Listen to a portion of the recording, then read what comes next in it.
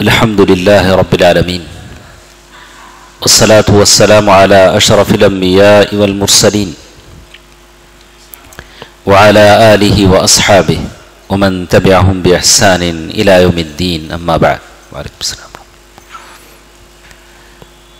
اللہ تبارک و تعالیٰ کا فضل و کرم ہے کہ تزکیت النفس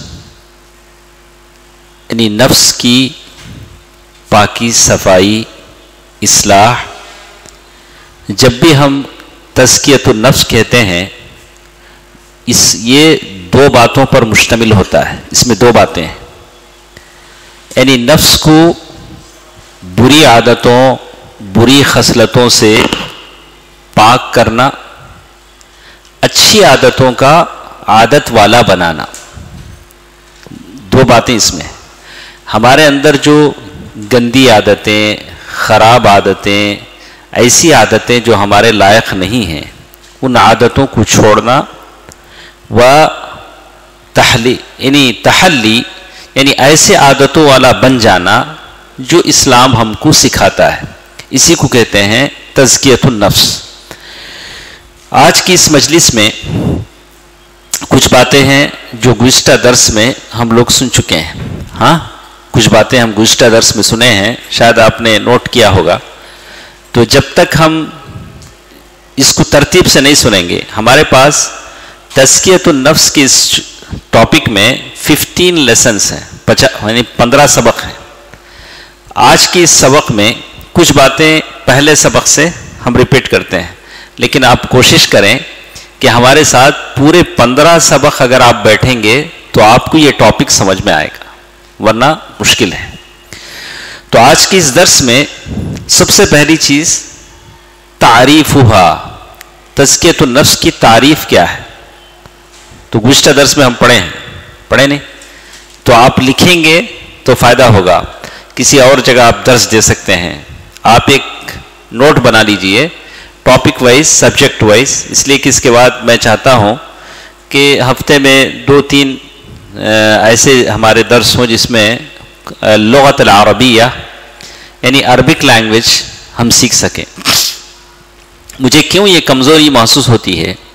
آپ اگر دوسرے ممالک میں دیکھیں گے، امریکہ ہے، برٹن ہے، وہاں کے جو لوگ مسلمان ہوتے ہیں وتھن سکس منتھ چھ مہینے کے اندر اندر عربی سیکھ جاتے ہیں۔ اسلام لاتے پہلا کام کیا کرتے؟ عربی سیکھتے۔ اور پھر عربی کی خدمت بھی کرتے۔ اس لیے کہ اسلام کا سارا ذخیرہ کس میں ہے؟ اسلام کی ساری کتابیں کس میں ہیں؟ عربی میں اگر آپ عربی جانیں گے نا، تو کیسے اسلام کو پہچانیں؟ تو منیمم عربی سیکھنا بھی ہمارے لیے ضروری ہے۔ جتنا آپ سیکھ چکے ہیں، اس کا ہم امتحان لیں گے۔ جو آگے سیکھنا ہے، انشاءاللہ اس کی ہم کوشش کریں گے۔ آج کی اس درس میں تو کسی کو دے دیجیے ٹھنڈا۔ نہیں ٹھنڈا ہو جائے گا بسم اللہ الرحمن الرحیم۔ تو پہلی چیز جو ہم سننا چاہتے ہیں، وہ تعریف۔ تعریف کس کو کہتے ہیں؟ ڈیفینیشن ڈیفینیشن کس بولیں گے؟ تعریف کسی بھی چیز کی۔ تزکیت النفس کس کو کہتے ہیں؟ آپ بولیں گے تزکیت النفس تزکیت النفس، کوئی بھی پوچھے گا کہ تزکیت النفس کیا چیز ہے؟ اس کی تعریف کیا ہے؟ اس کو ہم کیسے پہچانیں؟ نمبر دو، میں جو جو پوائنٹس پر آپ کو بولنا چاہتا ہوں، میں پہلے بتا دیتا ہوں تاکہ ہم بات اسی پر کریں گے۔ پہلے تعریف۔ دوسری چیز، لماذا تزکیت النفس؟ اپنے نفس کو پاک کرنا کیوں ضروری ہے؟ ایک سوال ہے۔ اگر ایسے چھوڑ دے تو کیا ہوگا؟ دنیا میں بہت سارے لوگ جی رہے ہیں۔ اگر ہم اپنے نفس کو پاک نہ کریں، نفس کی اصلاح نہ کریں، تو کیا فرق پڑتا ہے؟ نمبر تین، من الذي يزكي النفس؟ اللہ امل انسان نفس کو پاک کرنے والا کون ہے؟ اللہ یا انسان؟ گزشتہ درس میں ہم سن چکے ہیں۔ اور آپ جان بھی چکے ہیں کہ نفس کو پاک کرنے والا کون ہے؟ اللہ سبحانہ و تعالی پھر اس کو ہم سنیں گے۔ نمبر چار، کیف نزکی نفوسنا؟ ہم اپنے نفس کو کیسے پاکیزہ کریں؟ جاننا چاہیے نا کہ کیا کیا طریقے ہیں جس کو عمل کر کے ہم اپنے نفس کی اصلاح کر سکتے ہیں۔ نمبر پانچ ثمار و تزکیت نفس اگر نفس کو پاک کر لیں، تو ہم کو کیا فوائد ملیں گے؟ کیا فائدہ حاصل ہوگا؟ آدمی چلو، ہم مان لیتے ہیں کہ ہم نفس کو پاک کرتے ہیں، تو اس کا فائدہ ہم کو کیا ملے گا؟ کتنی باتیں ہوئی پانچ، نا؟ اسی پانچ ٹاپکس پر ہم کو بات کرنا ہے۔ تو آپ لکھیں، فائدہ ہوگا۔ سب سے پہلی چیز تعریف، نا؟ اور جب بھی آپ یاد رکھیے، کسی بھی چیز کی آپ تعریف سننا چاہتے ہیں، تو اسلام ہے۔ اسلام کی تعریف صلاح، نماز کی تعریف الدعا دعا کی تعریف۔ جب بھی آپ سننا چاہیں گے، دو چیزوں سے کسی کی تعریف جانی جاتی ہے۔ ایک لغوی اعتبار سے، ایک اصلاحی اعتبار سے یعنی لینگویج کے حساب سے اس کی تعریف کیا ہے؟ اور عام جو شرعی حساب سے، اصطلاحی حساب سے اسے کسے کہتے ہیں؟ جیسے دعا، پکارنا، بلانا۔ لیکن جب آپ شرعی اعتبار سے لوگ اصطلاحی اعتبار سے دیکھیں گے تو بات الگ ہے۔ الصلاۃ جیسے بہت ساری چیزیں ہیں۔ تو تزکیت النفس کا معنی کیا ہے؟ سب سے پہلی چیز فہارت النفس، نفس کو پاک بنانا پیوریفیکیشن جیسے ہم نے کہا، نفس کو کیا کرنا؟ پیور یعنی پاک کرنا۔ و نیما اور اس کو بڑھانا۔ وہ اظہار و محاسنی اور اس کے اندر جو اچھی چیزیں ہیں، اسے ظاہر کرنا۔ تو تسکیت النفس کا لغوی اعتبار سے، لینگویج کے اعتبار سے کیا تعریف کریں گے؟ تہارت النفس کس کو بولتے ہیں؟ تسکیت النفس کس کو بولتے ہیں؟ نفس کو پاک کرنا، سیدھا سدا وقت لینگویج کے حساب سے نفس کو پاک کرنا۔ لینگویج کی اصطلاحی اعتبار سے جو بھی چیز آپ لیں گے، شریعت کا کوئی بھی چیز، آپ اسے کسی کے سامنے تعریف کریں گے تو دو طریقے سے اس کی تعریف دیکھی جائے گی۔ ایک، لغوی اعتبار سے، لینگویج میں کیسے ہے؟ دوسرا، شرعی اور اصطلاحی اعتبار اصطلاحی اعتبار سے، اصطلاحی اعتبار۔ تو کہتے ہیں، تو ایک چیز جو لغوی اعتبار سے تزکیت النفس کا معنی یہ ہے، اصطلاحی اعتبار سے جسے بولا جاتا ہے تزکیت النفس کا معنی عن الصفات المذمومہ یعنی نفس کو پاک کرنا بری خصلتوں سے، نفس کے اندر بری خصلتیں جو ہیں، اس سے پاک کرنا۔ و تحلیتها بالاعمال الصالحہ نیک اعمال سے اس کو سنوارنا۔ تزکیت النفس میں کتنے کام ہیں؟ دو کام ہیں۔ تزکیت النفس میں کتنے کام ہیں؟ دو کام ہیں۔ ایک کام نفس کو برے اخلاق سے، بری عادتوں سے چھڑانا۔ دوسرا کام، اچھے اخلاق سے اسے آراستہ کرنا، سجانا۔ کتنے کام ہیں؟ دو۔ بولو۔ برے کاموں سے نفس کو آزاد کرانا، اچھے کاموں سے سنوارنا۔ سیدھا سدا بات اگر آپ سمپل اسے سمجھنا چاہیں تزکیت النفس کا معنی ہے، نفس کو بری عادتوں سے، بری خصلتوں سے دور کرنا، اچھی عادتوں سے اسے آراستہ کرنا، سنوارنا۔ ٹھیک ہے۔ لماذا تزکیت النفس؟ پوائنٹ نمبر ٹو دوسرا، اس میں کیا بولتے ہیں؟ کہ نفس کو تزکیہ کرنا، صاف کرنا کیوں ضروری ہے؟ اگر ہم نہ کریں، کیا فرق پڑتا ہے؟ نمبر ون سب سے پہلی چیز التاکید المتکرر فی نصوص الکتاب والسنہ قرآن میں اور حدیث میں بار بار آیا ہے کہ نفس کی اصلاح کرو، نفس کا تزکیہ کرو، نفس کو پاک کرو۔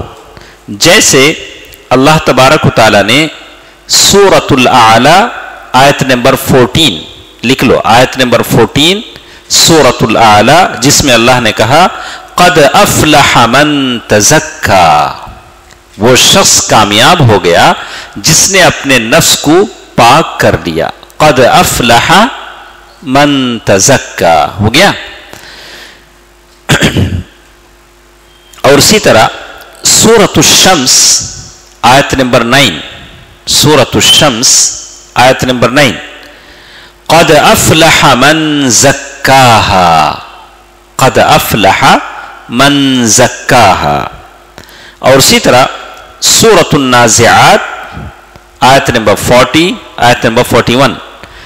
جس میں اللہ نے کہا وَأَمَّا مَنْ خَافَ مَقَامَ رَبِّهِ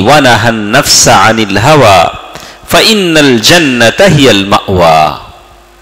تو یہ آیتیں بتاتی ہیں کہ ہم کو نفس کی اصلاح پر پاک کرنے پر توجہ دینی چاہیے۔ اسی طرح اللہ کے نبی صلی اللہ علیہ وسلم بار بار ایک دعا کرتے تھے۔ کیا دعا کرتے تھے؟ اللہ آتی نفسی تقواہا وزکیہا وانت خیر من زکاہا۔ کیا دعا کرتے تھے؟ یہ دعا یاد کرنا ہم کو۔ ہم جتنے نوجوان ہیں، دعا کو یاد کریں، بار بار پڑھیں۔ اللہ کے نبی صلی اللہ علیہ وسلم جن کو سارے مکے کے کافر اور مشرق امین کہتے تھے ہاں سارے لوگ اللہ کے اللہ کے اللہ تبارک و تعالیٰ نے آپ کے تعلق سے کہا کہ آپ کے اگلے اور پچھلے ساری خطائیں اللہ نے معاف کر دی پھر بھی اللہ کے نبی صلی اللہ علیہ وسلم یہ دعا پڑھتے تھے، اللہم آتی نفسی تقواہا. اے اللہ، میرے نفس کو تقوی عطا فرما، وزکیہا، اور میرے نفس کو پاک کر وَأَنْتَ خَيْرُ مَنْ زَكَّاهَا اے اللہ، تو بہترین پاک کرنے والا ہے۔ تو اس دعا کو پڑھیں۔ تو سوال یہ تھا ہمارا کہ نفس کو پاک کرنا کیوں ضروری ہے؟ تو جواب یہ ہے کہ اللہ نے قرآن میں کہا نبی صلی اللہ علیہ وسلم نے اپنی دعاؤں میں کہا کہ نفس کو پاک کرنے پر توجہ دو۔ نفس کو پاک کرنے کی کوشش کرو۔ اللہم آتی نفسی تقواہا وزکیہا، انت خیر من زکاہا، انت ولیہا و مولاہا۔ کیا پیاری دعا ہے۔ انت ولیہا و مولاہا۔ تو جو اہم چیز تھی کیا تھی؟ نفس کو پاک کرنا کیوں ضروری ہے؟ تو اس کا جواب کیا آیا؟ قرآن میں ہے، اللہ کے نبی صلی اللہ علیہ وسلم کی دعاؤں میں ہے، حدیث میں ہے۔ نمبر دو، من مقاصد مبعث النبی صلی اللہ علیہ وسلم۔ اللہ کے نبی صلی اللہ علیہ وسلم نے، اللہ تبارک و تعالی نے نبی کو بھیجا ہے اس مقصد کو لے، دلا کر۔ نبی صلی اللہ علیہ وسلم جہاں بہت سارے مقصد لے کر آئے، تو وہی ایک مقصد یہ بھی تھا کہ وہ لوگوں کی دلوں کو پاک کریں۔ تو یہ ہمارا کام ہے۔ جیسے اللہ تبارک و تعالیٰ نے اللہ کے نبی صلی اللہ علیہ وسلم کی دنیا میں بھیجے جانے کا مقصد کیا ہے؟ تزکیت النفس۔ اللہ کے نبی صلی اللہ علیہ وسلم کی دنیا میں بھیجے جانے کا مقصد کیا ہے؟ بہت سارے مقصدوں میں سے ایک مقصد کیا ہے؟ تزکیت النفس اللہ تبارک و تعالیٰ سورت و آل عمران آیت نمبر 164 164 جس میں اللہ نے بتایا لقد من اللہ علی المؤمنین إذ بعث فیہم رسولا من انفسہم یتلو علیہم آیاتہ ویزکیہم اللہ تبارک و تعالیٰ نے مومنوں پر احسان کیا کہ جبکہ بھیجا ان لوگوں میں سے ایک رسول کو جو اس کی آیتیں ان پر پڑھتا ہے وَيُزَكِّيهِمْ اور ان کی تزکیہ نفس کرتا ہے۔ کون کرتا ہے؟ اللہ کے نبی صلی اللہ علیہ وسلم۔ تو تزکیہ نفس اللہ کے نبی صلی اللہ علیہ وسلم کی بعثت کا ایک مقصد بھی ہے۔ کتنی باتیں ہوئیں؟ دو۔ پہلی بات ہوئی قرآن کا حکم ہے، نبی کی دعائیں ہیں۔ دوسری بات ہوئی، اللہ کے نبی صلی اللہ علیہ وسلم کی بعثت کا ایک مقصد بھی ہے۔ نمبر تین، اہتمام السلف الصالح بتسکیت النفس۔ جو سلف صالح تھے، پہلے جو لوگ گزرے ہیں، یہ نفس کی اصلاح پر بڑا توجہ دیتے تھے۔ بڑا توجہ دیتے تھے۔ وہ اپنے نفس کو اسی لیے ابن سیرین کا وہ قول ہم سنتے ہیں آلش تو نفسی عشرین سنا میں نے اپنے نفس کو تسکی نفس کے لیے میں نے کتنے سال کوشش کیے؟ ٹونٹی ایئرس ہمیں ہفتے میں ایک بار بیٹھتے ہیں، وہ لوگ وہ کتنے سال لگے؟ ٹونٹی ایئرس یعنی یہ بہت ضروری چیز ہے۔ یعنی کہ ہم کبھی باہر ٹھہرتے ہیں، ادھر ادھر دیکھتے ہیں، تو کبھی آنکھیں ادھر ادھر اڑ جاتی ہیں، نا؟ تو ضروری ہے کہ کبھی زبان غیبت کرنے لگتی ہے، کبھی آنکھیں خیانت کرنے لگتی ہیں، کبھی کان غیبت سننے لگتے ہیں۔ تو جب ایسا ہو تو آپ جان لیجیے کہ آپ کو مجھے ضرورت ہے۔ کس کی؟ اصلاح نفس کی۔ اصلاح نفس کی تزکی نفس کی ضرورت ہے۔ بہت سارے لوگ ہیں، ہمارے ساتھ چلتے رہیں گے، کھڑے کھڑے ادھر ادھر دیکھیں گے۔ بلا کہ نہیں، ابھی ہم کو کیا ہے؟ ضرورت ہے۔ اہتمام السلف الصالح بتزکیت النفس، سلف صالح اس کا بہت اہتمام کرتے تھے کہ تزکی نفس اللہ جزائے خیر دے۔ اسی لیے یہ مجلس ہم نے بنائی، خاص کر ہم جو نوجوان لوگ ہیں، یہ تزکی نفس کے بہت ضرورت مند ہیں۔ ہمارے لیے یہ بہت ضروری چیز ہے۔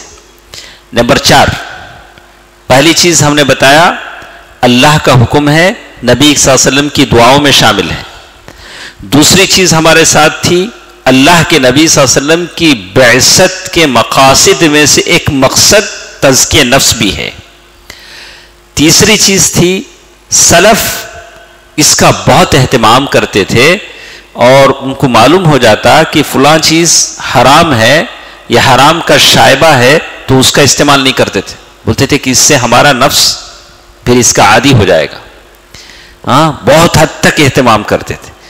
نمبر چار، الثواب الجزیل، اللہ تعالیٰ نے نفس کو پاک کر لینے والوں کے لیے بہت بڑا ثواب رکھا ہے۔ بہت بڑا ثواب ہے۔ اللہ کے پاس بہت بڑا ثواب ہے۔ جیسے اللہ تعالیٰ نے سورت الطحا آیت نمبر سیونٹی سکس۔ آپ لکھ لیجیے، پھر جا کے ٹرانسلیشن کے ساتھ انگلش ٹرانسلیشن کو چیک کیجیے۔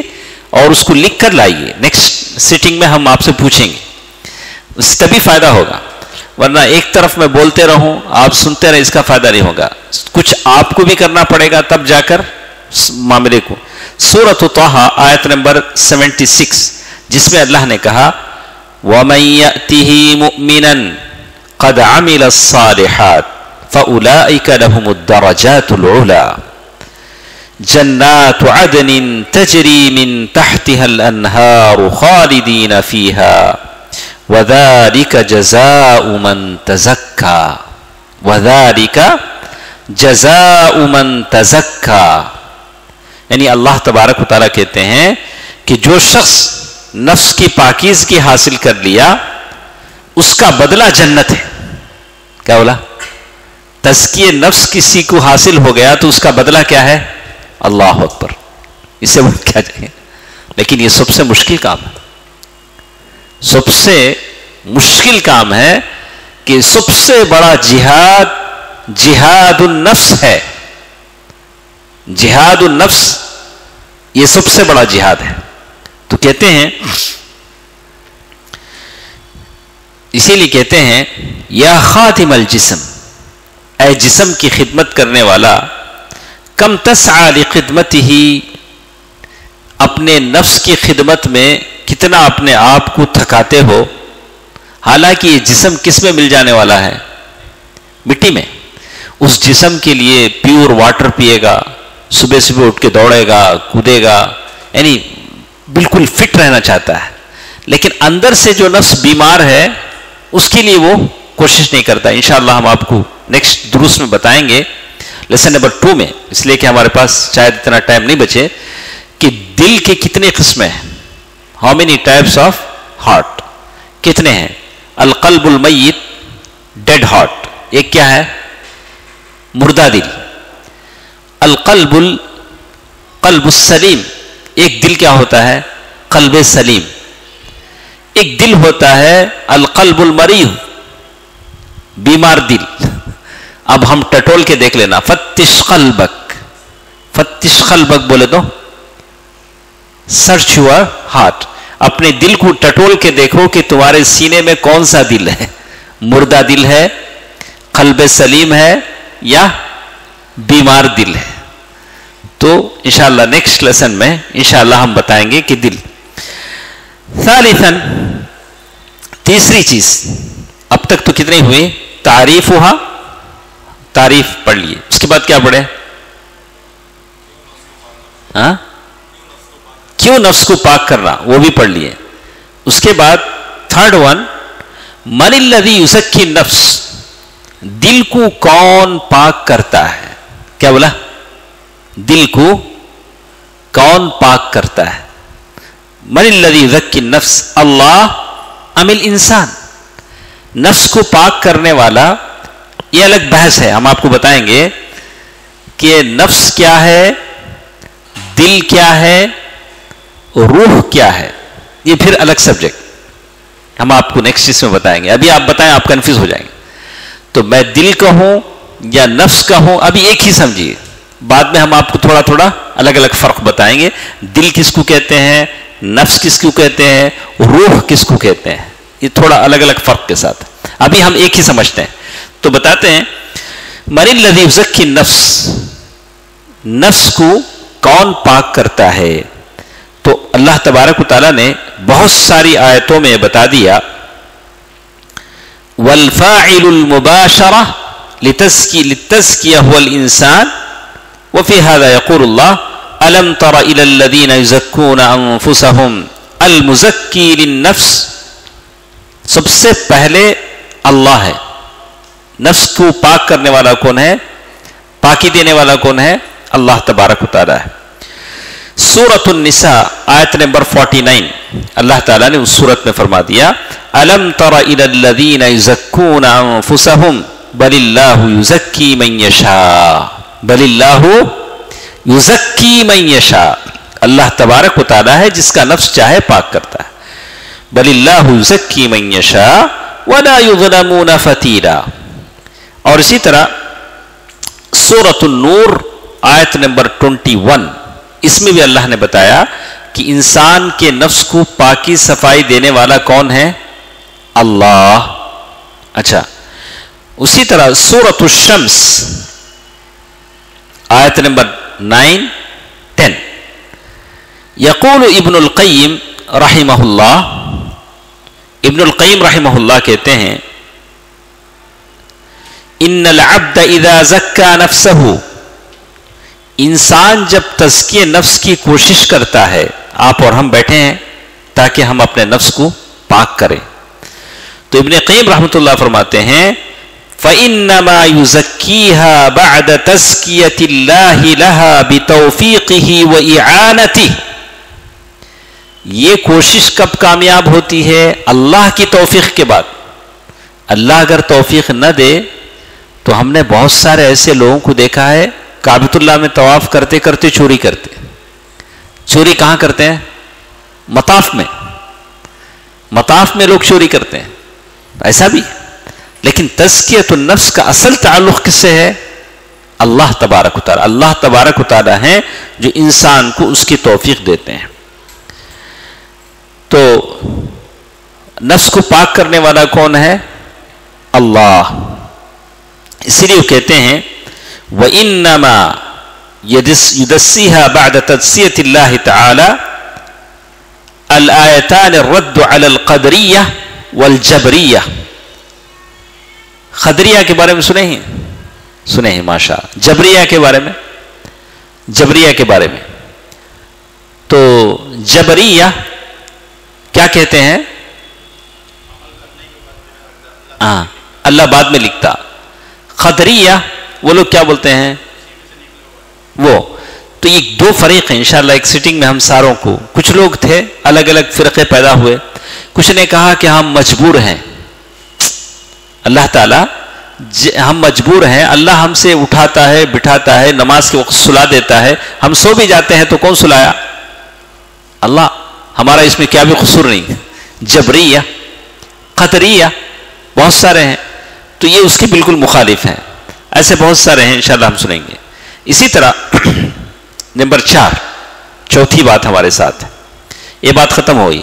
اس میں معلوم ہو گیا کہ انسان کے نفس کو پاک کرنے والا کون ہے؟ کون ہے؟ اللہ۔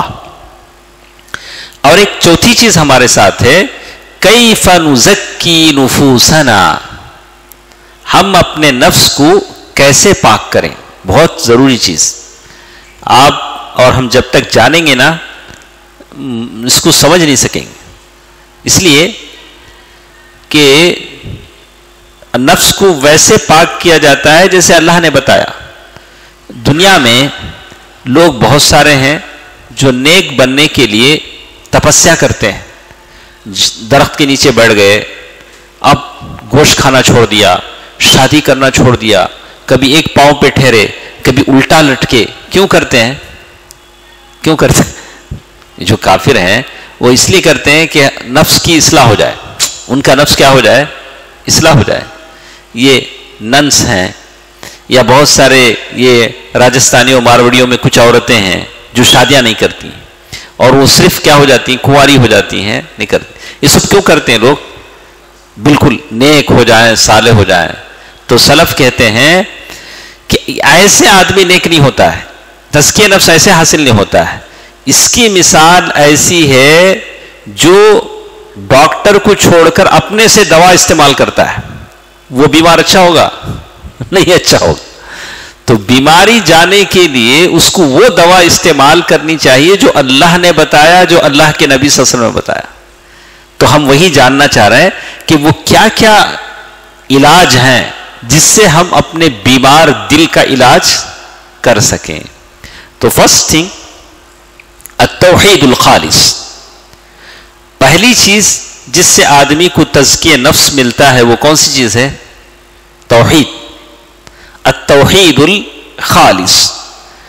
اللہ تبارک و تعالیٰ نے سورت الحج آیت نمبر 31 جس میں اللہ نے کہا وَمَن يُشْرِكْ بِاللَّهِ فَكَأَنَّمَا خَرَّ مِنَ السَّمَاءِ فَتَخْطَفُهُ الطَّيْرُ أَوْ تَهْوِي أَوْ تَهْوِي بِهِ الرِّيحُ فِي مَكَانٍ سَحِيقٍ. سورة الحج، آیت نمبر 31 تو معلوم یہ ہوتا ہے کہ تزکیہ نفس کے لیے سب سے پہلی چیز کیا ہے؟ توحید. اگر آدمی موحد نہیں ہے خبر پرست ہے، تو کہیں بھی بیٹھے وہ اپنا کام کرے گا۔ اگر توحید موحد نہیں ہے خبر پرست ہے مشرق ہے، تو اس کے تزکیہ نفس حاصل ہونا مشکل ہے۔ نمبر دو، نفس کی اصلاح کے لیے نیک کام کرنا، حرام کام کو چھوڑ دینا اور حرام کام کے چھوڑ دینے پر صبر کرنا ضروری ہے۔ ہاؤ مینی ٹائپس آف صبر کتنے صبر ہیں؟ تین. ادریس بھائی بول رہے الصبر على الطاعة الصبر على الطاعة الصبر على محارم الله الصبر على اقدار الله صح؟ الصبر على الطاعة اطاعت میں صبر. کیسے؟ اچھا نیند آتی ہے، اب اذان ہوتی ہے، آپ نیند صبح کی بڑی پیاری نیند آتی۔ آپ بڑی مشکل سے اٹھتے ہیں، پھر جا کے نماز پڑھتے ہیں۔ تو اس اطاعت میں جو تکلیف ہوئی، اسے آپ برداشت کرتے ہیں، الصبر علی الطاعہ۔ الصبر علی محارم اللہ۔ جو محارم جو کام ہے جو حرام کام جو ہیں، اس پر آدمی صبر کرتا ہے۔ کیسے؟ ایک شرابی ہے۔ دیکھتا ہے لوگ شراب پی رہے ہیں الحیاد باللہ، اس کا دل للچاتا ہے۔ ارے، میں بھی تو پیتا تھا۔ پھر وہ صبر کرتا ہے، نہیں نہیں نہیں پینا ہے، مجھے صبر کرنا ہے۔ اللہ اس پر اسے ثواب دے گا۔ وہ صبر اقدار اللہ اللہ نے جو مقدر کر دیا ہے، اس پر آپ صبر کریں۔ ایک لنگڑا ہے، ایک شخص شو پہن کے جا رہا ہے۔ اس کو دیکھتا رہے اللہ، مجھے بھی اگر پیر ہوتے تو میں بھی شو پہنتا۔ لیکن وہ صبر کرتا ہے۔ ایک جاہل ہے، ان پڑھ ہے، عالیشان کار میں جا رہا ہے۔ اب مولانا ہے چل کے جا رہے ہیں شیخ صاحب۔ صبر کرتے ہیں۔ اللہ، ٹھیک ہے، اس کو کار دیا، مجھے پیر تو دیا، میں چل کے جا رہا ہوں۔ تو یہ الصبر علی اقدار اللہ اللہ نے جس کو جیسے بنایا، اس پر وہ صبر کرتا ہے۔ تو صبر کی کتنے قسمیں ہوئے تو یہاں یہ بتاتے ہیں کہ تزکیہ نفس حاصل کرنے کے لیے آدمی کو نیکی کرے اور برائی سے کیا کرے؟ برائی چھوڑے اور برائی چھوڑنے میں جو تکلیف آتی ہے اس پر کیا کرے؟ صبر کرے۔ اس کے بعد وہ کہتے ہیں، نمبر تین، طلب العلم الشرعی۔ تزکیہ نفس کے لیے آدمی علم شرعی حاصل کرے۔ کس سے حاصل کرے؟ شریعت کا علم آپ جاننا چاہتے ہیں۔ کس سے جانے؟ گوگل سے، علماء سے۔ بولا ید اہلی ہی ید اہلی ہی العارفین بعیوب النفس وتزکیتها وفق نهج الانبیاء ان لوگوں سے آپ حاصل کریں دین کا علم جو نفس کے عیوب کو جانتے ہوں۔ اگر جس سے آپ علم حاصل کرنا چاہتے ہیں، وہ خود پاپی ہے، وہ آپ کو کیا بولے گا؟ ارے آؤ چلو پیتے ہیں، میں بھی پیتا ہوں، تو بھی پیو ارے کچھ اس میں کیا شرمانے کی کوئی بات نہیں بولا۔ اسی لیے انہوں نے کہا العارفین بعیوب النفس۔ نفس کے عیوب کو جانتا ہو وتزکیتها اور اس کو کیسے پاک کریں وہ طریقہ جانتا ہو۔ اعلی وفق نہج الانبیاء انبیاء کا جو طریقہ ہے، اس کے حساب سے، اپنے حساب سے نہیں۔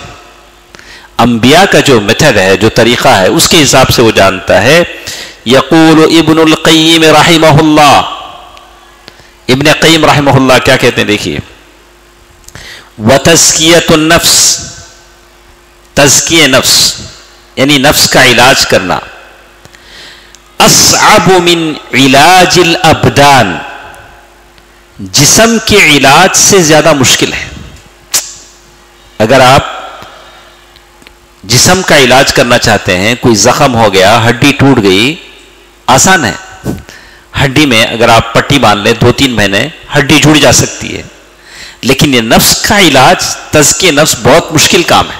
اسی لیے ابن قیم رحمہ اللہ فرماتے ہیں، فمن زکا نفس والمجاہدہ جو شخص اپنے نفس کا علاج کرنا چاہتا ہے، تنہائی سے وہ اچھل کود کر کے، اور وہ طریقہ وہ طریقہ نہیں ہے جو اللہ کے رسول صلی اللہ علیہ وسلم لائے ہیں۔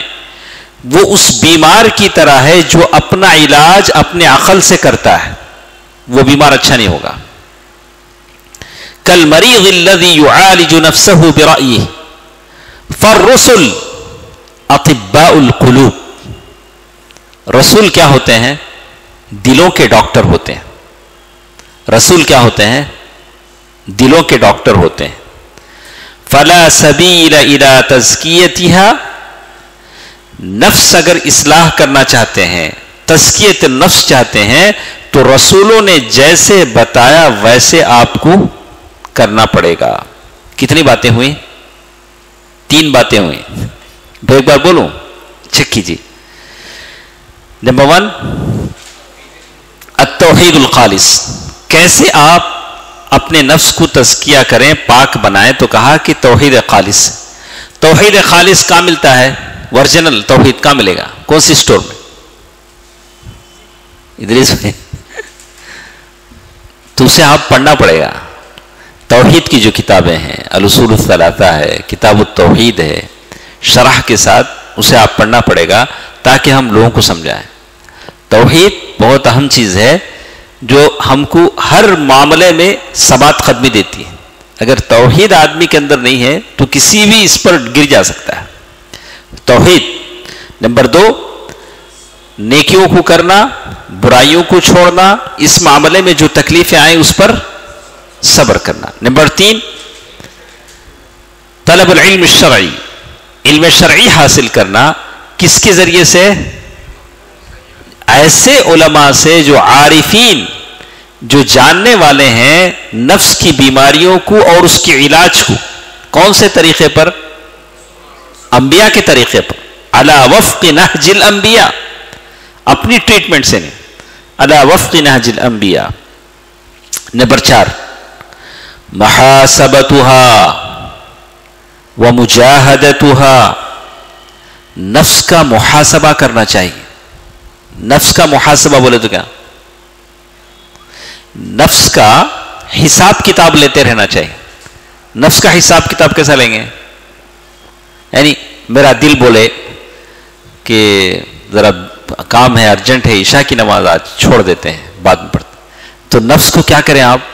اس سے لڑیں، بولے نہیں، نماز وقت پر پڑھیں گے، کام ہو سکتا ہے، دیر ہو جائے۔ تو نفس کا حساب کتاب لیتے رہنا چاہیے، ورنہ یہ نفس کیسا ہے، اس کو ہم چھوڑیں گے تو وہ آرام کا، غفلت کا عادی بن جائے گا۔ لِتَغَلُّبِ عَلَى الْهَوَى وَالشَّيْطَانِ وَالدُّنْيَا۔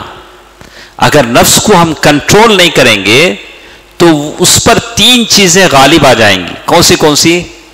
الہوا ایک ہوا یہ ہوا ہوتی ہے، کون سی ہوا؟ ایئر اور ایک ہوا ہے ہوا نفس، دل کی خواہش۔ اس کو کیا بولتے ہیں؟ ہوا نفس، دل کی خواہش۔ اگر ہم اس کو انکنٹرول کر دیں گے نفس کو، تو اس پر سب سے پہلی چیز جو غالب آئے گی، ہوا۔ ہوا کیا ہے؟ رستے میں کیا دکھا لینے کی کوشش کرتا ہے انسان۔ وہ بھی میرے پاس رہنا، یہ گھر میرے پاس رہنا، وہ عورت میرے پاس رہنا۔ ارے اسی لیے اس کو کیا کرو؟ کنٹرول کرو۔ بولے کہ جو ہے ہے۔ جو تیرے پاس نہیں ہے، اس کا ہے۔ ہوا نفس بہت مشکل چیز ہے۔ اگر اس کو کنٹرول نہیں کریں گے، دنیا کی ساری دولت میرے جیب میں بولے گا۔ ہوا نفس نمبر دو وہ شیطان نفس پر کیا حاوی ہو جائے گا؟ شیطان۔ وہ دنیا دنیا حاوی ہو جائے گا۔ دیکھیے قال میمون ابن مہران۔ میمون ابن مہران کہتے ہیں، لا يكون الرجل من المتقین۔ آدمی متقی نہیں ہو سکتا، حتی يحاسب نفسه اشد من محاسبت شریکی۔ یہاں تک کہ وہ اپنے نفس کا حساب ویسے لے جیسے اپنے پارٹنر کا حساب لیتا ہے۔ پارٹنر کا حساب ہم کیسے لیتے ہیں؟ کہ با ہمیں دونوں اتنا انویسٹمنٹ کرے، اتنا فائدہ آنا نا کیسا نہیں آیا؟ اتنا سیل ہونا نا کیسا نہیں ہوا؟ جیسے اس کا حساب کتاب لیتے ہیں، اس سے زیادہ حساب کتاب کس کا لینا؟ نفس کا۔ اگر اس کو چھوڑیں گے تو تین چیزیں اس پر غالب آ جائیں گی۔ وہ تین چیزیں کیا کیا ہیں؟ ہوا، شیطان، الدنیا۔ ہوا، شیطان، الدنیا۔ دیکھیے اب نفس کا حساب کیسا لیں گے بولو؟ پارٹنر کا حساب لینا معلوم۔ کیا دریس بھائی؟ لیکن نفس کا حساب کیسا لینا؟ اکرم بھائی، نفس کا حساب کیسے لیں گے؟ این مطعمہ۔ این مطعمہ۔ ارے ہمیں کھائے نا، یہ حلال کی حرام کی۔ کون کی بلا جا کو مست کھلا ڈالا بھی کھلایا، برابر بھی پیٹ میرا، پیسہ تیرا، لیکن یہ حلال کھلایا، حرام کھلایا۔ ہم جس دعوت میں جا رہے ہیں، یہ حرام کی ہے، حلال کی؟ منائی مطعمہ۔ میرا نفس کہاں سے کھا رہا ہے؟ اس کو معلوم ہونا چاہیے۔ وہ من آئین ملبسا میں جو پہن رہا ہوں، یہ حلال کا ہے، حرام کا ہے؟ آدمی کو معلوم ہونا چاہیے۔ وہ من آئین مشربہ۔ امن حلال ذلك ام من حرام؟ ارے یہ حلال سے آ رہا ہے کہ حرام سے آ رہا ہے؟ آدمی کو معلوم ہونا چاہیے، اس کا احساس اس کو کرنا چاہیے۔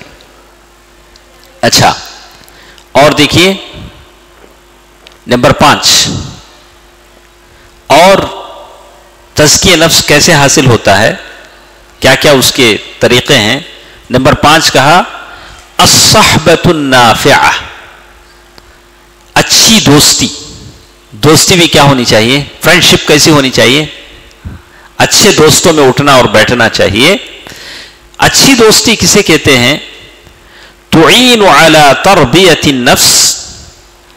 ایسے دوست جو نفس کی تربیت میں مدد کرتے ہوں وہ تزکیت اس کی تزکیے میں مدد کرتے ہوں اور اس کو نقصان پہنچانے والوں سے دور کرتے ہوں۔ تو معلوم یہ ہوتا ہے کہ اگر ہمارے دوست اچھے ہیں، ہمارا نفس کیا ہوتا ہے؟ تزکیت النفس حاصل ہوتا ہے۔ تو دوستوں کی بھی آدمی جانچ پڑتال کرنی چاہیے کہ کس دوستوں کی صحبت میں میں بیٹھ رہا ہوں۔ یہ چار چیزیں ہوئیں۔ ہمارا ٹائم ختم ہو چکا ہے۔ اگر آپ بیٹھتے ہیں تو میں پانچویں چیز بھی آپ کو بول دیتا ہوں۔ پانچویں چیز ہمارے پاس ہے کہ تسکی نفس اگر ہم حاصل کرتے ہیں تو ہم کو کیا ملے گا؟ نا؟ ثمارو تزکیت النفس۔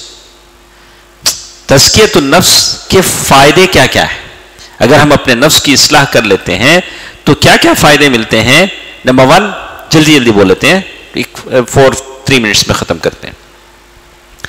الفلاح فی الدنیا والنجات فی الاخرہ۔ دنیا میں فلاح بہبودی ملے گی، آخرت میں کامیابی ملے گی۔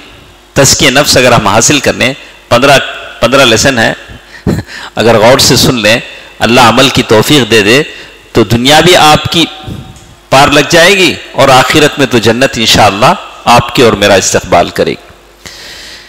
اچھا اور وہ کہتے ہیں اللہ تبارک و تعالیٰ نے سورت الشمس میں یہ بتا دیا، وَنَفْسٍ وَمَا سَوَّاهَا فَأَلْهَمَهَا فُجُورَهَا وَتَقْوَاهَا، قَدْ أَفْلَحَ مَنْ زَكَّاهَا، وَقَدْ خَابَ مَنْ دَسَّاهَا۔ تسکیت النفس کا پہلا فائدہ یہ ملے گا کہ دنیا اور آخرت دونوں کیا ہو جائیں گے؟ کامیاب ہو جائیں گے۔ نمبر دو، راحت البال۔ راحت البال ہماری زندگی سکون کی ہو جائے۔ گی وہ سکینت القلب۔ دل کو سکون ملے گا۔ وہ تمانی اطمینان ملے گا۔ وہ انشراح الصدر۔ دل ماشاء اللہ سکون دل کی تنگی دور ہو جائے گی۔ کیا کیا ملے گا؟ زندگی میں ٹینشن ختم ہو جائے گا۔ کوئی ٹینشن نہیں۔ ہاں سکون کی زندگی مل جائے گی۔ جیسے اللہ تعالیٰ نے سورت الفتح آیت نمبر فور میں بتایا۔ سورت الفتح۔ آیت نمبر فور والذی انزل السکینة فی قلوب المؤمنین لیزدادوا ایمانا مع ایمانہم اسی طرح سورة الانعام، آیت نمبر 125 سورة الانعام، آیت نمبر 125 اگر آپ نہیں لکھ سکتے ہیں، تو ہم ریفرنس بعد میں آپ کو بتائیں گے۔ لیکن لکھنے کی کوشش کیجیے سورت الانعام، آیت نمبر 125 نیکسٹ ہم چاپٹر سورہ نمبر بھی آپ کو بتا دیں گے آسان ہو گیا؟ نمبر تھری تزکیت النفس کے فائدے کیا کیا ہیں؟ تو کہا، الثبات علی الدین والطاعہ آدمی کو دین میں ثبات قدمی ملے گی۔ نفس پاک ہو گیا، دین میں اس کے پیر ڈگمگائیں گے نہیں۔ دین پر چلے گا تو بالکل جم کر چلے گا، اطاعت میں جم کر چلے گا۔ جیسے اللہ تبارک و تعالیٰ نے سورت ابراہیم آیت نمبر 27 میں بتایا۔ سورت ابراہیم آیت نمبر 27 جس میں اللہ نے کہا، فَكُلَّمَا قُوِيَةُ النَّفْسِ، جب نفس طاقتور ہو جاتا ہے، تو ذکر کرنے بیٹھیں گے تو موبائل کی طرف نہیں دیکھیں گے۔ بہت سارے ہیں۔ میں ہوں قرآن لے کے بیٹھا، دس بار موبائل کی طرف دیکھتا۔ تو مطلب کیا ہے؟ ہمارا نفس ہمارے انڈر میں نہیں ذکر کرنے بیٹھیں گے، پھر گھر یاد آئے گا، پھر وہ پتہ نہیں کیا کیا یاد آئے گا۔ اس لیے کہ نفس کیا نہیں ہے؟ طاقتور نہیں۔ اسی لیے وہ کہتے ہیں فک اللہ نفس و تحیت ذکر جیسے نفس آپ کا طاقتور ہو جائے گا، اللہ کا ذکر کرنا آسان ہو جائے گا۔ استغفار کرنا آسان ہو جائے گا۔ استغفر اللہ استغفر اللہ وہ توبہ دی جی بھر کر آپ توبہ کریں گے۔ اللہ تر رجوع کریں گے۔ کلما کانت اخدر باذن اللہ۔ زندگی میں جو مشکلیں آئیں گی، وہ آسان ہو جائیں گی۔ اس لیے کہ آپ کا نفس کیا ہو چکا ہے؟ طاقتور ہو چکا ہے۔ کوئی بھی مشکل آئے، بچہ بیمار ہوا، کاروبار میں نقصان آیا، کوئی بھی پریشانی آئی، تمہیں بڑی اس کے ساتھ اسے اسٹرگل کے ساتھ جو جہد کے ساتھ اسے حل کرنے کی کوشش کریں گے۔ تو یہ فوائد تھے کتنے؟ تین۔ تو آج کے اس درس میں کیا کیا سنے ہم لوگ؟ ایک بار بولیے۔ پانچ چیزیں ہاں۔ تعریف ہوا تزکیت النفس کی تعریف۔ لماذا تزکیت النفس؟ تزکیت النفس کیوں کیا جاتا ہے؟ کیا بات ہے؟ تو کہا کہ قرآن کی آیتیں ہیں۔ اچھا اللہ کے نبی صلی اللہ علیہ وسلم جو دعا پڑھتے تھے، وہ دعا کیا ہے؟ اللہم آتی نفسی تقواها وزکیها وانت خیر من زکاها انت ولیها ومولاها ماشاءاللہ ہاں؟ یہ بہت اہم چیز ہے۔ اس کو پڑھیے۔ ہمارے جو استاد تھے، بہت پابندی کے ساتھ یہ دعا پڑھتے تھے۔ جب بھی وہ خطبہ شروع کرتے، شیخ عبدالرزاق البدر، وہ جب بھی وہ خطبہ شروع کرتے، اس میں ضرور پڑھتے۔ یہ ضرور یہ دعا پڑھتے اچھا۔ رابعا ثالثا، نمبر تین، نفس کی اصلاح کرنے والا کون ہے؟ اللہ۔ اللہ تعالیٰ ہے جس کی توفیق سے آدمی اپنی نفس کی اصلاح کر پاتا ہے۔ نمبر چار، کیف نزکی نفوسنا؟ کیسے ہم اپنے نفس کی اصلاح کریں؟ تو پہلی چیز اس میں کیا بتائیں ہم؟ التوحید الخالص التوحید الخالص خالص توحید. یہ کہاں ملے گی؟ توحید کی کتابیں پڑھیں. توحید کی جتنی کتابیں ہیں، اس کو پڑھیں، سمجھیں، تب جا کر وہ یہ ہوگا۔ اچھا اور ایک چیز ہے خامسن ثمار و تزکیت النفس۔ تزکیت النفس سے آدمی کو کیا فائدے حاصل ہوتے ہیں؟ تو تین فائدے ہم نے پڑھے ہیں۔ الفلاح، دنیا اور آخرت کی فلاح بابودی ملتی ہے۔ زندگی پرسکون ہو جاتی ہے۔ کوئی یہ نہیں ہوتا ہے۔ اور نمبر تین؟ ہاں؟ ہاں۔ انسان کے اندر، انسان کی زندگی میں آنے والے مشکلوں کو برداشت کرنے کی طاقت پیدا ہوتی ہے۔ تو انشاءاللہ نیکسٹ سیٹنگ میں ہم دوسرا سبق پڑھیں گے۔ جس میں بہت ساری باتیں ہمارے ساتھ آئیں گی۔ اللہ تعالیٰ سے دعا ہے کہ اللہ تعالیٰ مجھے اور آپ کو عمل کی توفیق دے۔ جو باتیں سنے ہیں، اسے یاد کرنے اور اسے دوسروں تک پہنچانے کی توفیق دے۔ آمین۔ إن الله ملائكته يصلون على النبي. يا أيها الذين آمنوا صلوا عليه وسلموا تسليما. اللهم صل على محمد وعلى آل محمد. كما صليت على إبراهيم وعلى آل إبراهيم إنك حميد مجيد. اللهم بارك على محمد وعلى آل محمد. كما باركت على إبراهيم وعلى آل إبراهيم إنك حميد مجيد. برحمتك يا أرحم الراحمين. والحمد لله رب العالمين. والسلام عليكم ورحمة الله وبركاته.